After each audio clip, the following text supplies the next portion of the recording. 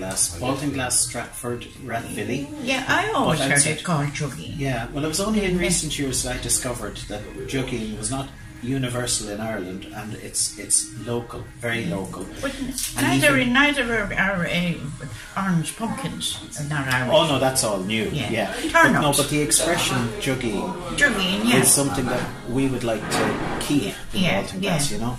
And Juggying and the Wren Boys. Yeah. basically bought in that. This area. yeah, A yeah. lot of it. Mm. And what would you say when you went to the door? Well, you just smiled at them, said you come in, kind of thing, because you were invited in always when you called. We dressed up, went out, Yeah, and you went to, and you hoped they didn't recognise you. Yeah. That was part of the thing that you were coloured up and that's Mm. thing. But, and you didn't buy, did you? You didn't, oh, you might buy a mask, but you made it. yeah, yeah. could be made from paper, from material, from anything, and you dressed up in an adult's clothes so that your shape was disfigured, Yeah. kind of thing. And you went in, and you usually went to the, to, to the house you enjoyed, that you knew the people in it, and you hoped they didn't recognise you, because you had to disguise your voice, that they wouldn't know who you were.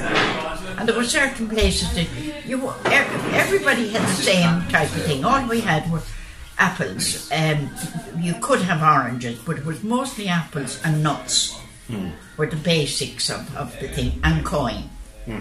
And barnbrack. Mm, you got some barn practice? Oh, well? we have got barnbrack. Barnbrack was part of uh, Halloween. It was, if you like, juggying. And I suppose a lot of people don't understand barn barnbrack. I don't know why it's called barn barnbrack. but that's the way it was, and that's how. And this, um, in the house, then you had this entertainment of when you went in, you had this ducking in the water and the three saucers.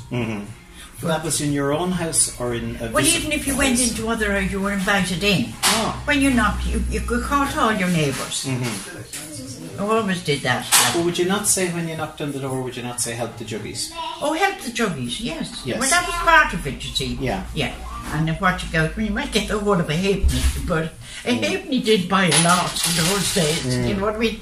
You could buy sweets for a halfpenny. Yeah. Where it, it mightn't seem much. And this house, Dan kills uh, Mm-hmm. Yes, you always got a halfpenny. We're in Lizzie Kills. Yeah. Yeah. You always got a halfpenny here. He invited everybody in and everybody got something. But one of those, just custom eh, for the area, possibly. It's uh, we never queried it. It was always uh, you going out juggying and you went.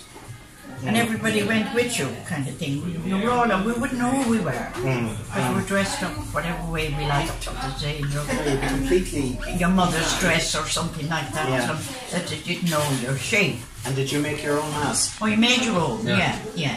Mm. And, and you could even make a wig out of anything. Mm. Just as long as you were disguised and you hoped that uh, you're not recognised and come home then with your whatever you got. We bought in our day. We bought plastic masks in in, in Palmurray's. Yeah, yeah. No, no, well. There were gorilla faces There the were time. masks. You probably wouldn't have had the money to buy masks, and you wouldn't waste money on a mask Yeah. when you could make one. Yeah. with just a a piece of cloth and paper and put colour on it, so it all blended in with you. And the idea was to disguise yourself Disguise and also to to look scary. Yeah, and like uh, uh, at the back of it all, I think there was always this uh, kind of uh, respect for the juggies.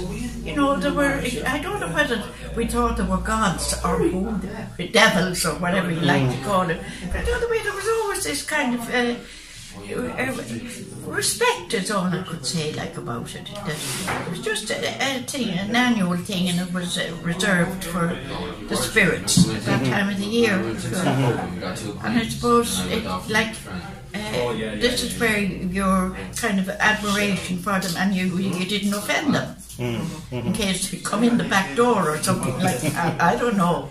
But uh, it was great fun, and you were, we- So, and it was well established in the 1930s. and everybody went juggying. Hmm. All the kids. All the kids went Yeah. juggying, hmm. yeah, and you expected all your neighbours' kids to come in. Mm-hmm. Hmm. It didn't. There was no. It was a kind of an open house, I suppose, like that's the tradition, I suppose, of everybody coming to you. Spirits and otherwise. Spirits? I don't know. Might be. Maybe the wrong spirit. but uh, no, no, I, I enjoyed it, as I say. And like, it's nice memories, and it shouldn't be forgotten about.